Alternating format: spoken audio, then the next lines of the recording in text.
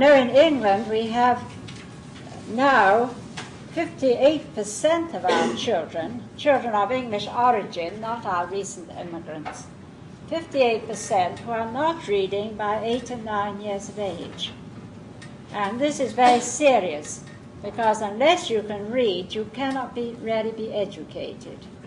See, so this uh, we have to think why children are not achieving reading. I think it's the same here.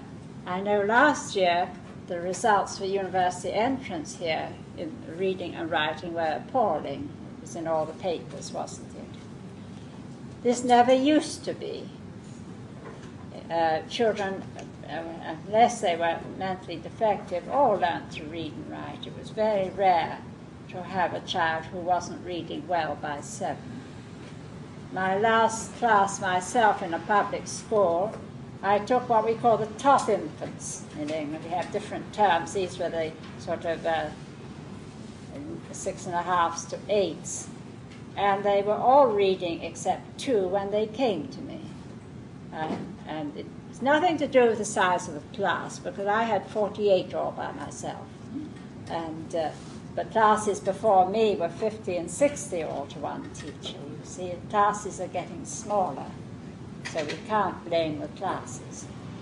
And in England, the first time, about 12 years ago when they did the survey, it was about 45% of the children not reading at 8, 9 and the teachers all blamed the illiterate homes. But heavens, we've had generations of education.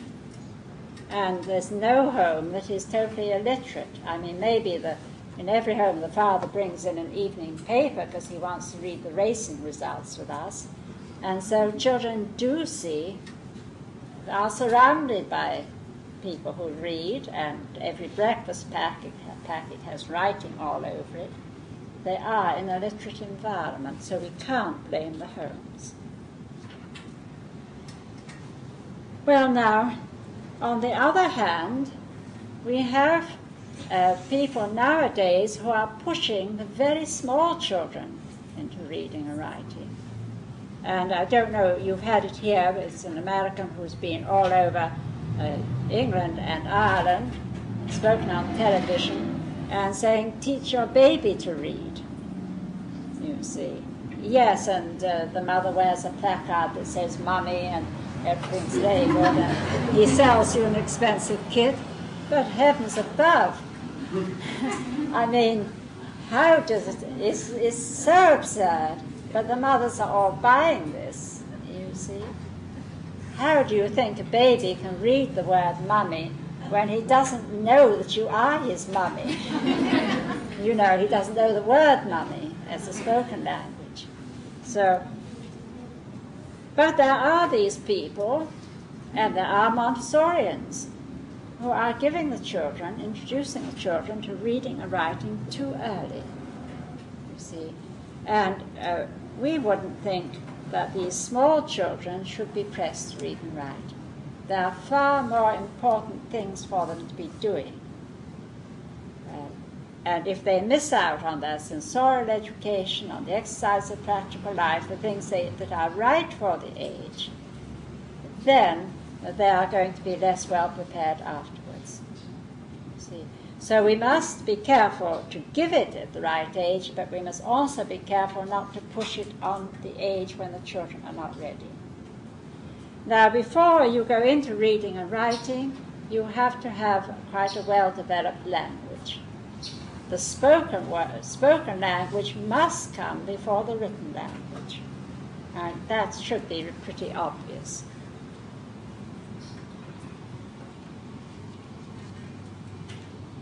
And then we must realize what a tremendously complicated thing reading writing is. As I've said, we've only had it mankind has only learned to express himself in written symbols during the last 4,000 years, which is very recent in our time. And until modern times, only a very few people were expected to read and write. The ordinary people were not expected to, even in the time of our knights, uh, very recently in English history, they were so busy practicing warfare and uh, so on that they very few of them read and wrote. You see, many of our kings didn't read and write. Um, in my the village where I grew up, the parish registers went back to about uh, uh, 1068, I think. Uh, they do in many, of course, in England we do have this sort of every, every village me is an old village, and it was only in very recent times that anyone getting married signed their name. See, before that they just put their mark, and only the, really the vicar and perhaps the biggest house in the parish did anyone read and write. So it's a very new thing to expect everybody to. It's a complicated thing when you think about it. You look at these marks on paper, just arbitrary symbols, and without thinking about them, you interpret these into pictures in your mind. You see? And then if you're reading aloud, you, you express them in words. It's a very complicated thing that we have learned to do, and so we mustn't expect the children to do it at too young an age. The language development has to take, have taken place. There has to be a certain maturity of the mind the eye brain development has to be complete, complete, you see, or you may do damage in, in forcing them into this written uh, word too soon. We have the one place we did do some definite testing. Uh, we took there were actually some two different Montessori schools. One which began the reading and writing before we liked to begin it, and the other began when we liked to begin. And we tested the children at six. An outside psychologist came in and tested the children from the two schools. And the ones that had waited were the ones who were uh, doing better, very much better, and who were also the ones who were enjoying reading. And the ones who had begun too soon were not as well advanced, and also they were not enjoying it so much. And I had one child in uh, the school last year, because we have a school attached to the college, who had begun the sandpaper letters, at two and a half. And of course, you learn them very easily at that age. But by the time she was five, she didn't want to read. See, because uh, it had been this uh, too early you don't really achieve it. So there's a time when it's right, and you do harm if you begin too soon. We are very much geared to think of reading, writing, and arithmetic as education. And we're not yet geared to think of sensorial education as being so important, and the other sides of education, which the early child must go through. Now then, but what about what can we do to prepare the child for reading? Are there any prerequisites? See. And here I think, of course, if the child is in a cultural environment where there is reading and writing, then of course he is he gets his predisposition to wish to read and write. Because the child, the young child looks at the parents and he is geared by nature to copy. Nature says, copy your, the adults, copy your parents. You see, and not only does he copy your moral behavior and your manners and many of your mannerisms and, and your and so on, but whatever your interests are, the child gets tremendously interested in those too. In the old days, when a man's work was in his home or his village, and the children could watch him at work. The blacksmith shop in every which every village had to have. The blacksmith's forge was adjoining his cottage, and the small children used to toddle in and watch him. Very soon they would be doing small things. And so always the son followed the father because he got this uh, strong urge to do what his father did, and so you've always got the son following the father's trade. But nowadays, this is broken because the father goes out of the home to work, the children don't see the adult at work. It's often very hard for them to adapt to work because they don't see it when they're small. Very hard for them to make a choice, and of course the choice is much wider. So he copies whatever you do, and whatever your interests are, he forms his predisposition to enjoy that as well. So it's, if you are in a children in America, all children in America or England are in a literate environment. They may, the parents may read at a very low level, as I say, they may only want to read the racing news or the scandalous tidbits in the paper. But at any rate, there's some form of reading in every home, and outside the home, the shop windows, the notices, reading, writing is everywhere, so that they do know all about it. It's not like a country where they see nothing in the way of literature.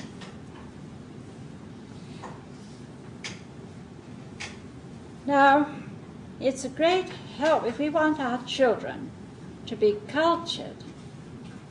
And uh, by culture, you mean the highest discipline that the race has reached. You don't mean the way of life, you don't mean supermarkets and the ordinary way of life, but you mean the highest discipline in which we have reached, and the best of our literature, for example. Then we do have to be very careful with our little children, because if you give anything that is cultural in the home, in the first years of life, is absorbed. There's this period of the absorbent mind when they're learning by absorption rather than through language. And whatever is in the home, that is what they are geared to like. So if the home is cultured, your children will then want to read the best in literature. See, they will want to take the highest of which we have become capable. So, first, I think in the home, we must be very careful of the books we select for our children the Victorians, I'm a great admirer of the Victorians because I had these wonderful aunts and great aunts and uncles. And they were always very careful in their selection of reading matter for the children. And I think we have to go back to looking at the reading matter which is being provided for them. We have never had so many beautiful books produced. We have color photography, we have beautiful books at a reasonable price.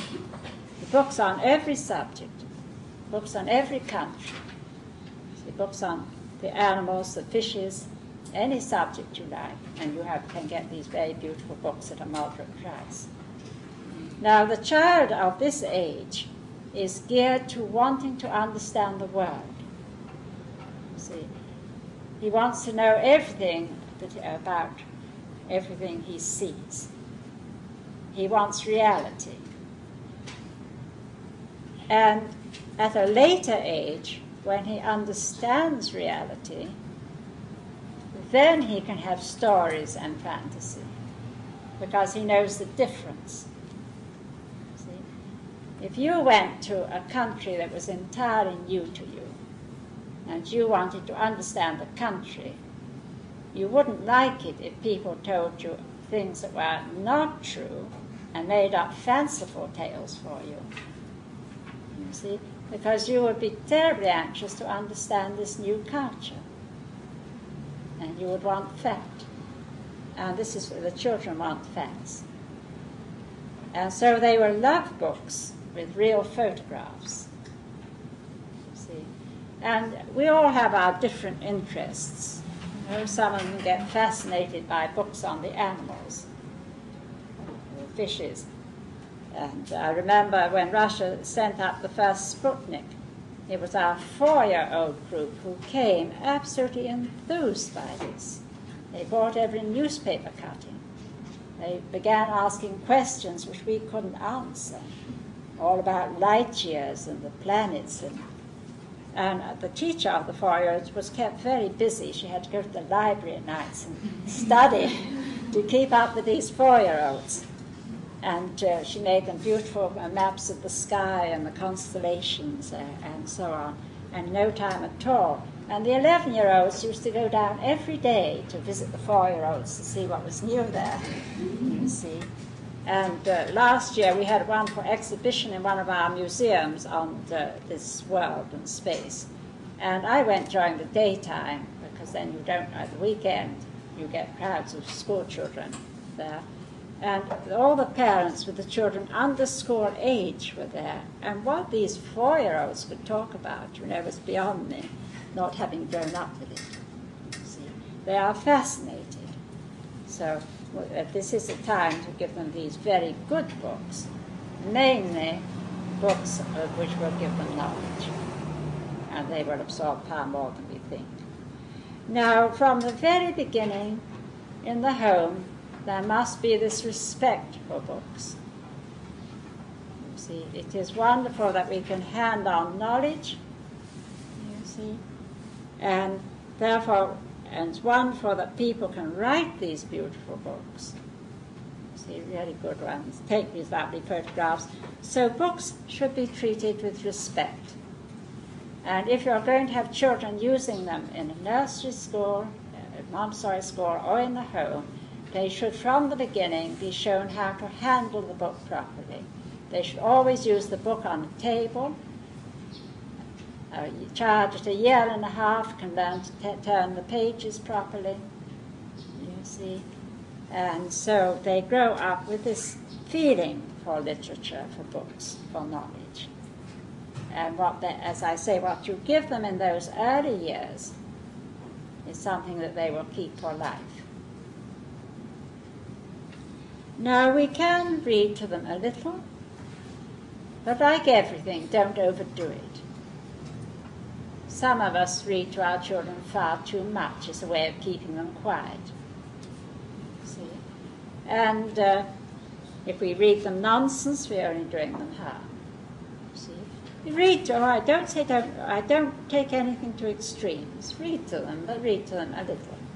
See, and look at books with them, but not, don't overdo it. See?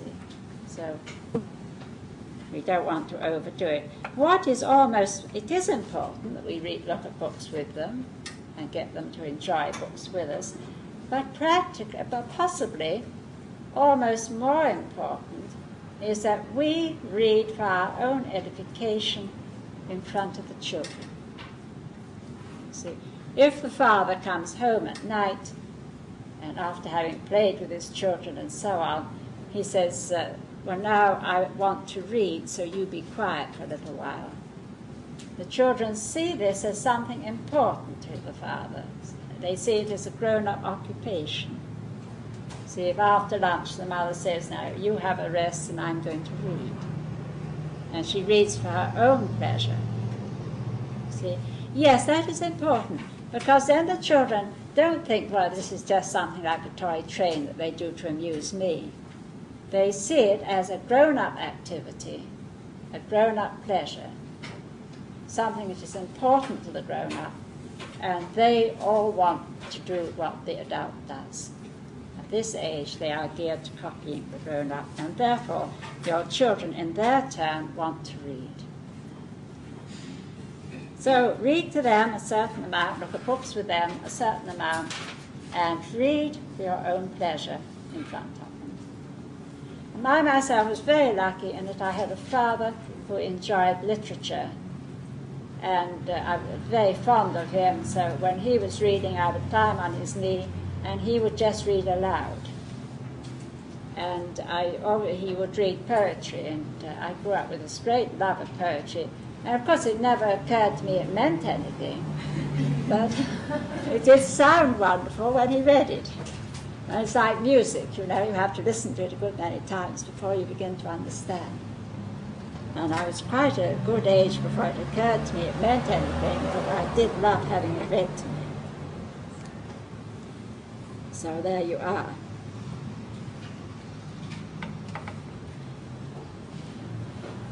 Now, the books we choose then are going to be for the beauty of production, beauty of the pictures, the knowledge that they contain, or the culture uh, as we can read them poetry. And there are some very beautiful books in English. I remember Sunday afternoons, we were a family of seven, so the ages varied, but we all had the Pilgrim's Progress read to us. You see, and I remember how beautiful the language was. Appreciated it. It didn't mean much to me as a, as a book, but the language was so beautiful. See that you all did sit and enjoy it. So you don't always have to worry that they are understanding. You read them the book for the beauty of the language or the beauty of the poetry, and like music, it begins to mean something.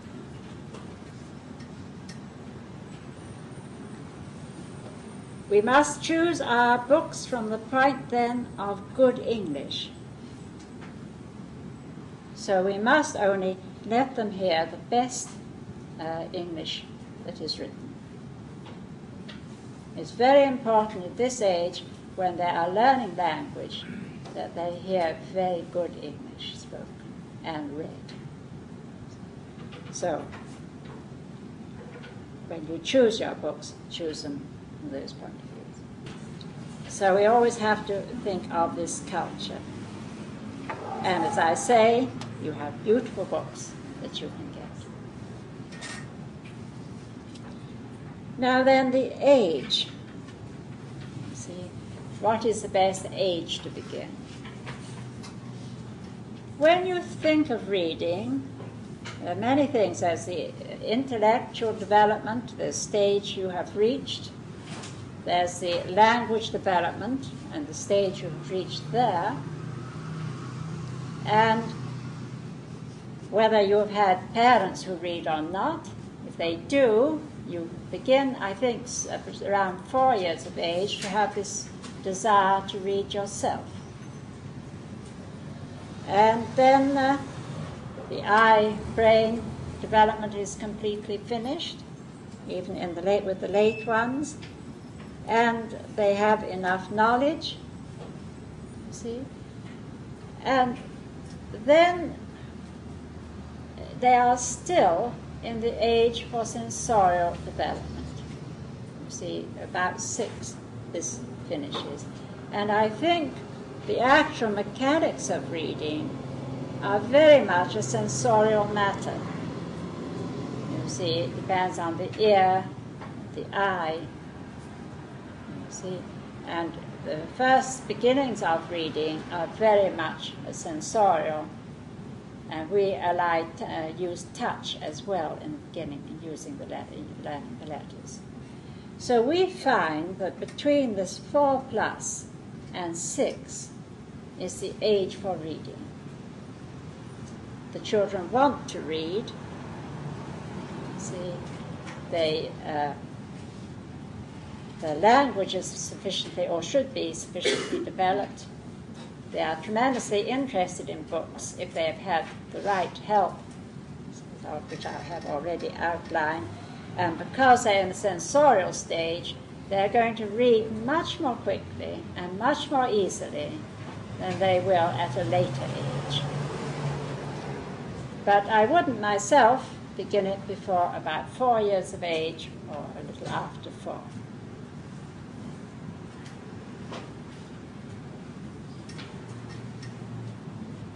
So again, they are still in the age when they are tremendously interested in language. See, nature says to them, these are the years when you learn language, and so one of the child's main interests is still language. He's absorbing words at a tremendous pace, and while there is this interest in language, be interested in the spoken language transfers very easily interest in the written language. You see, it's another form of the language. So it seems to me, uh, working with the children, and Dr. Montessori found the same thing, that at this age, the children get avidly interested in learning to read. So that is about the age when we will begin.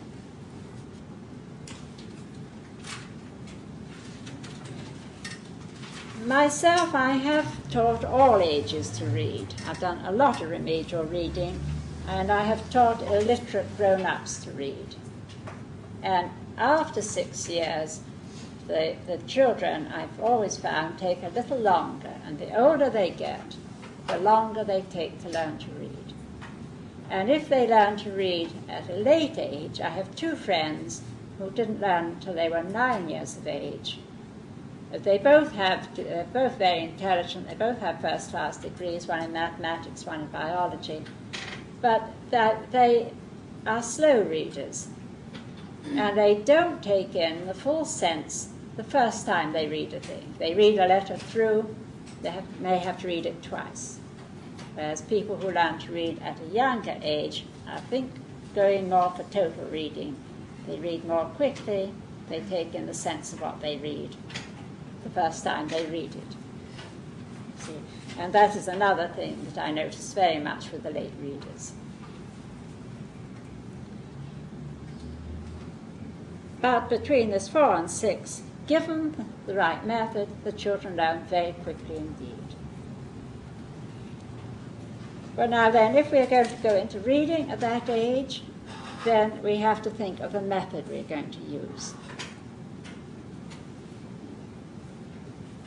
Now, originally, of course, all writing was a picture writing. You had a picture, you wanted to say table, you drew a picture of a table. If you wanted to say tree, you drew a picture of a tree. See? And from this, uh, you had to develop an enormous number of pictures. See?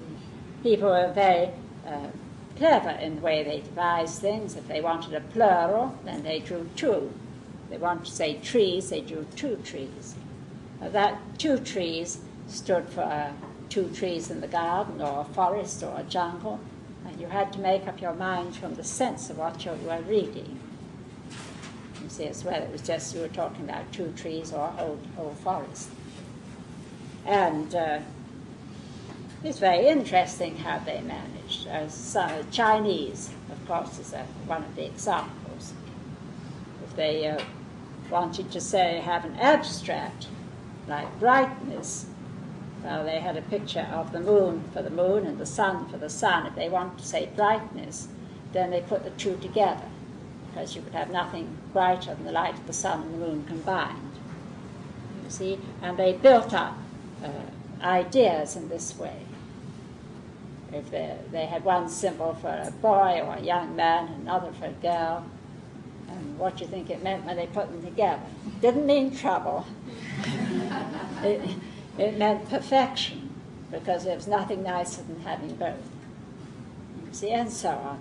But to write language like this meant something like 10 or more thousand pictures.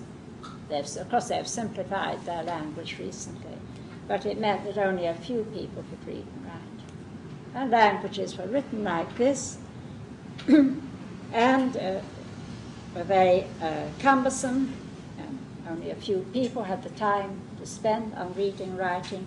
And then uh, I think it was in Sumer that originally they did have one or two uh, symbols which stood for sounds. See?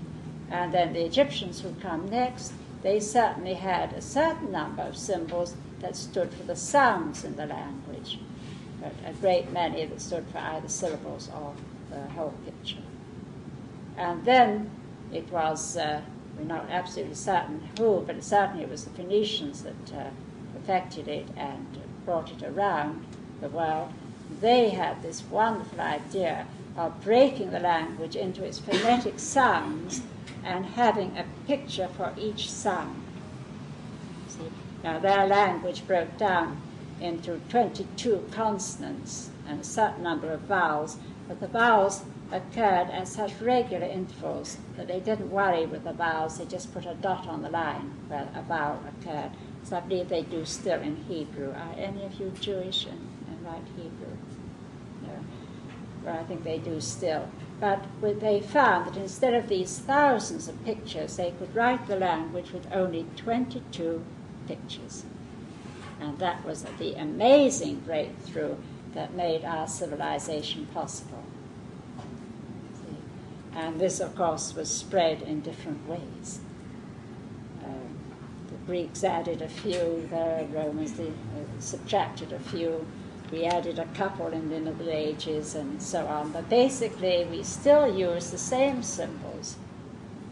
And they have become very stylized, but you can trace every one of our letters back to the original picture. And it's interesting to do it with the children alongside reading and writing.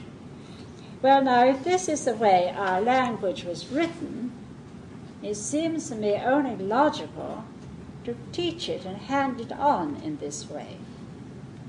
See? And I think the modern idea that you get the child to recognize a whole word as a beginning to reading is like uh, teaching Chinese. You see, there you have to learn every separate word, because every separate word is a separate picture. But if you have to learn every separate word by sight, you see, then it would take you as long, really, as learning Chinese. It's not a reasonable way to expect children to learn to read and write. And I think that is the basis of the, of poor reading ability that we have now. Instead, we give the children the phonetic sounds of the letters from the beginning. And from that, they can go to phonetic words. But if you know your we only need 26 sounds. If you have those 26 sounds, you can, you have a key in which you can tackle any word, because most of our words are partly phonetic, if not totally phonetic. Now, the history of the English language, again, is an exciting one, and one we should uh, study with the children parallel to reading and writing. They find it most, most interesting. English, of course, is a language composed of more than one language. Uh, we had uh, the original habits, the habit inhabitants, and then we had the Celts who uh, came and inhabited England, and then we had uh, waves of Anglo-Saxons, Jutes invading us. We're a rich farm country, you know. Everybody wanted us always, and still do.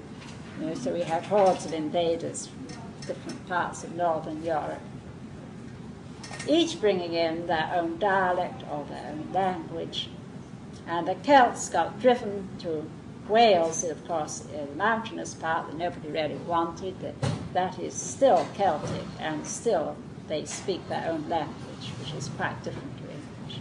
And we got the Romans who came in, and then we got uh, the Norman conquest, which brought in Latin, Latin, uh, French is a Latin-derived language, and always we got words from the Latin because Latin was the language of the church.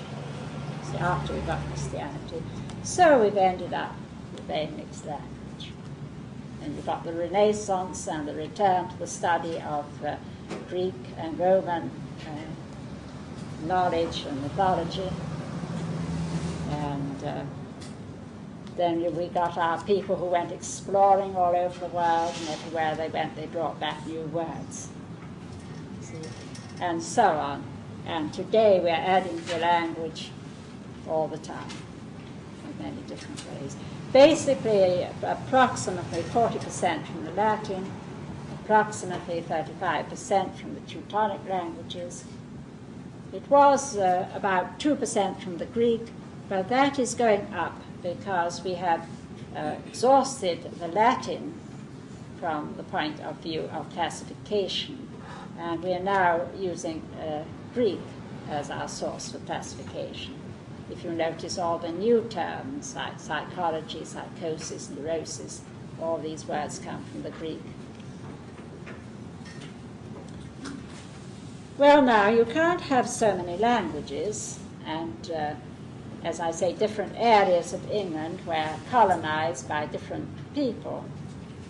See, without having many more sounds than there are in the Roman alphabet. It was the Romans who brought the alphabet to us. You see, and so we have a great many more sounds.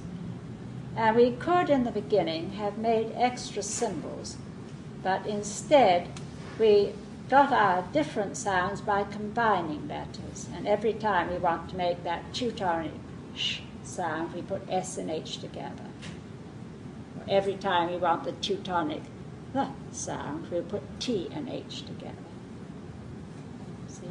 So we have a certain number, and there are not so many really, of combinations of letters which give us new sounds and which the children will have to learn.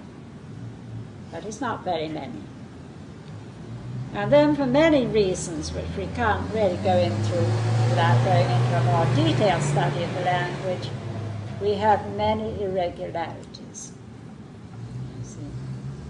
And these the children do, for the most part, take in through reading. If you have an irregular word in the middle of a sentence, it could only make sense there, and they can usually uh, guess the word by the context. See, or half the word is regular. Uh, and so those, if they learn to read young, and they're still in that sensorial stage when they take in through the eye and the ear, and they read, when they first find they can read, they read a tremendous amount. You don't really have to teach spelling. In fact, the less you teach spelling, the better, because they take it in by eye. If they learn to read later, when they're past that sensorial stage, then they do not take in spelling by eye, and they often remain very poor spellers. But the more you worry them about spelling, you set up this anxiety and then you make a bad speller. Whereas left to themselves, they would be good spellers. Well, just to cheer you up, we have something like over 20,000 irregularities. Well, it's a rich language. See, partly because we, uh, before the days of travel, we all got our own dialects in different places. Partly pronunciation has changed through the centuries, and so on. And you have the same thing here. You have very different ways of pronouncing words in different parts of the country. I have the most trouble when I go to uh, the south. Go Mobile and New Orleans and Alabama. And it seems to me they only have one vowel there, but maybe they. but it's, it's uh, quite difficult. Yeah, it's very, very difficult. And then over on the other coast, they speak very much more as we speak in, in, in England. But in different parts of England, you would find people speaking with a very different accent. The further north you go, the more phonetic the language becomes. Personally, I'm from the south, so we very proudly say we speak the King's English, just because the court happened to be in the south. So I think about four years of age, we would start the reading scheme, or just after but not before. And varying a little with the children, but on the whole, you would find all children would be ready for it then. And some of them go into it who have come from these more cultured homes, go into it with this tremendous enthusiasm. And if you have one or two who are enthusiastic, then the ones who come from homes where they haven't had such a good background they catch the enthusiasm from everybody else, and your whole class goes madly into reading. And I always found that they, once they started this work, they went into it with terrific enthusiasm and achieved reading very quickly. See, I've had many children who learned to read in a semester, and most of them would learn within a year to read fluently, to be able to pick up any book within their comprehension. And we would certainly expect them all to be reading by six, reading fluently. And we are very keen on, everyone talks about independence.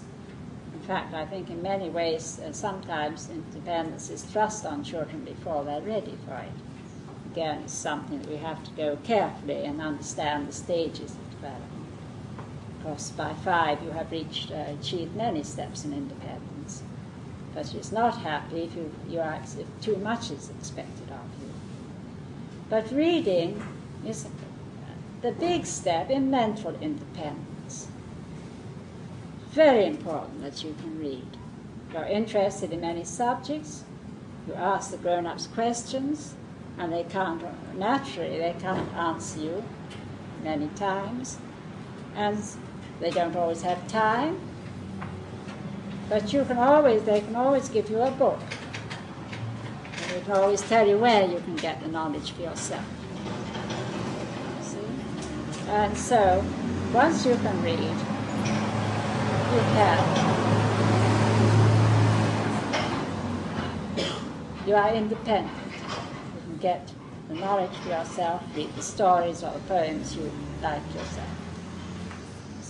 And you can be educated. Because unless you can read, you can't be educated. Now, if, when thinking of how to teach reading, Dr. Montessori also broke it up into its component difficulties. She did realize that uh, to write is something which is very skilled. Your hand has to be well trained. You've ever tried to teach an awkward child of five or six to write, you would realize that they can hardly hold the pencil.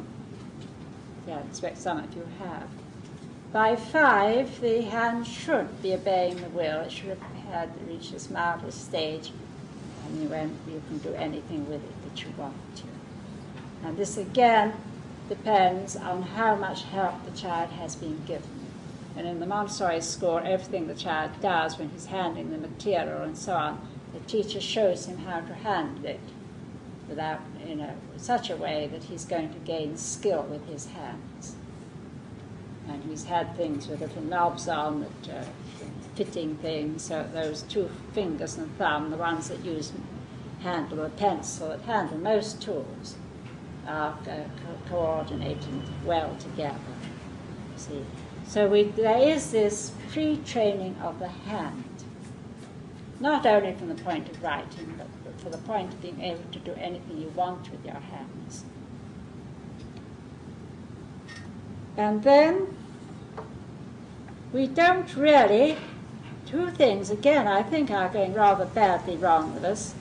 We are, we are allowing the manufacturers to sell us all sorts of things which they call educational. Educational toys is the big bu- business now, isn't it? So almost everything you buy for your child has letters or numbers all over it.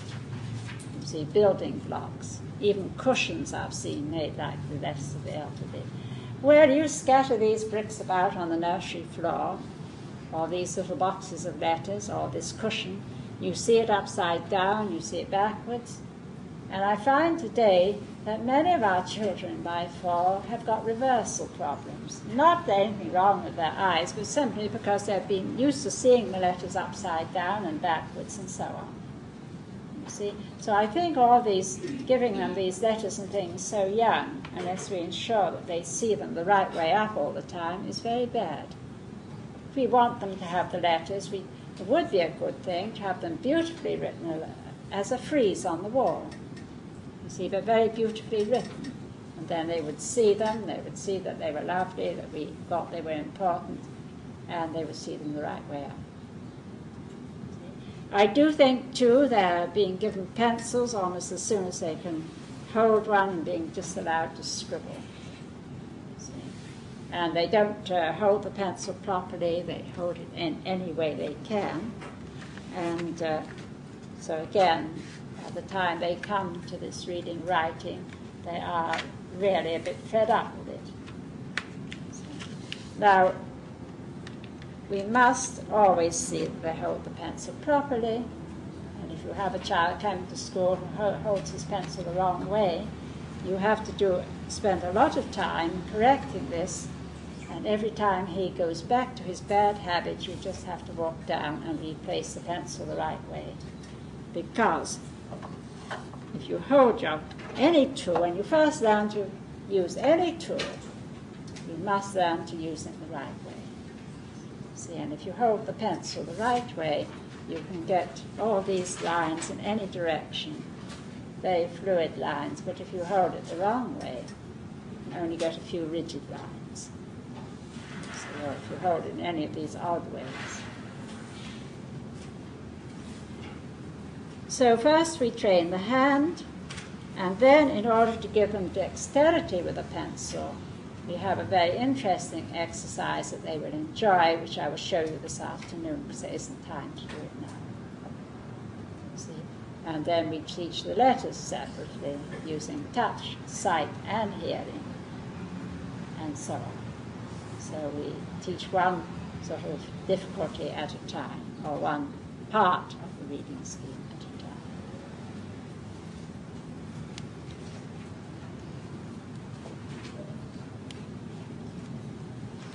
Now, uh, this afternoon, I will show you the exercise that we do for using skill, for gaining skill with a pencil. And then you, I shall have paper here. If any of you have colored pencils, bring them with you. I have got uh, one box you can use, or you can do the drawings and color them at home. I shall give you a series of exercises. All right?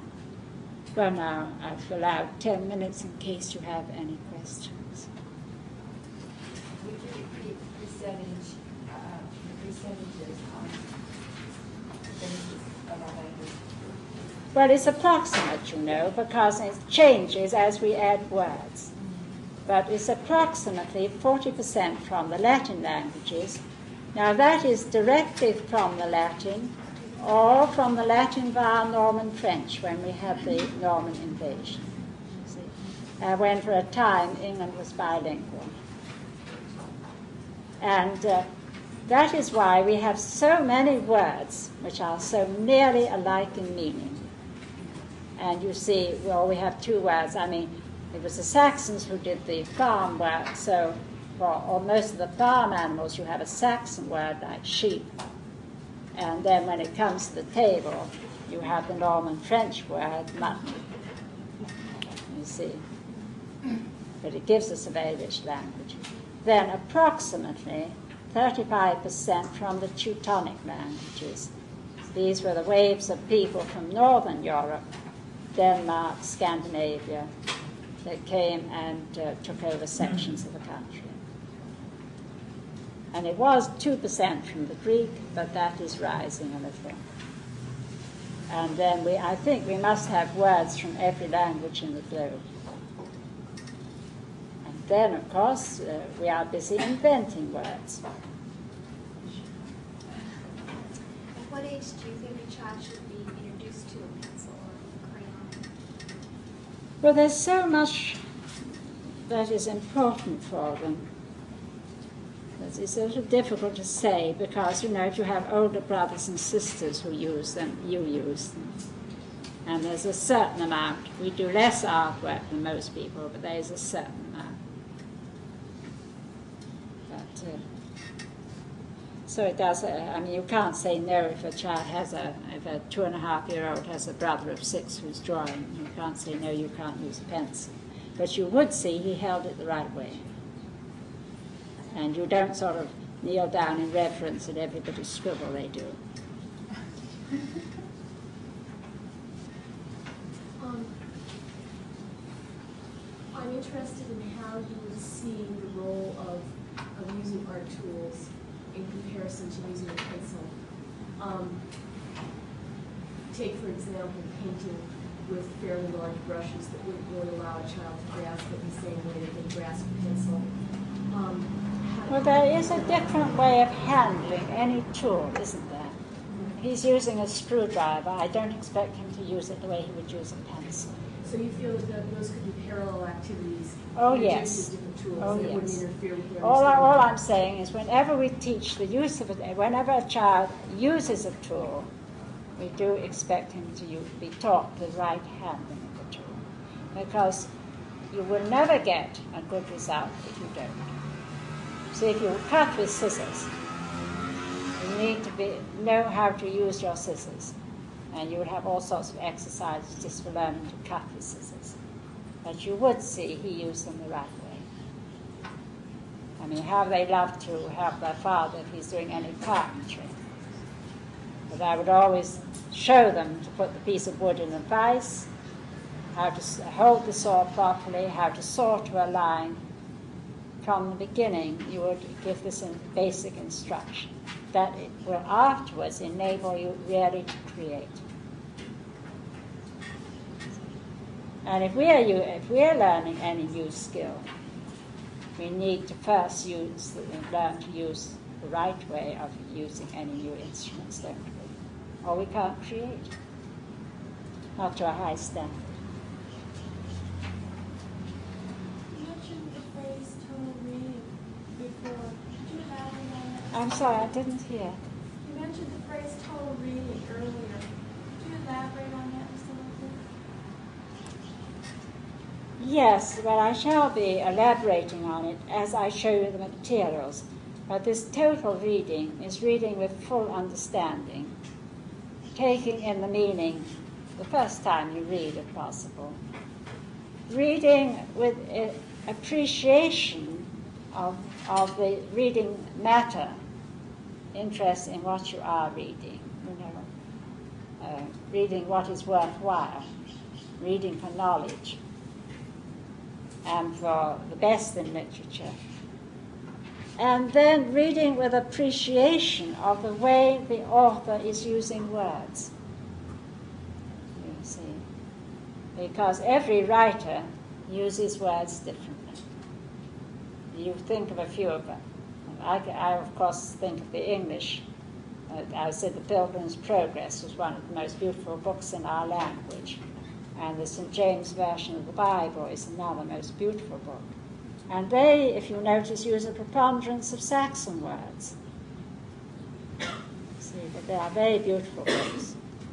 If you read uh, Browning, he is a very active writer, you'll find he uses a great many adverbs and verbs. If you read Scott, he has long passages with masses of adjectives. Uh, I always skip those, but at the time they were very much admired. Well, you do, you are aware, see, of the style of the author and how he is using words. This is more of what you might call more cultural reading. And if you find yourself reading a badly written book, you simply can't read it because it offends your sort of feeling.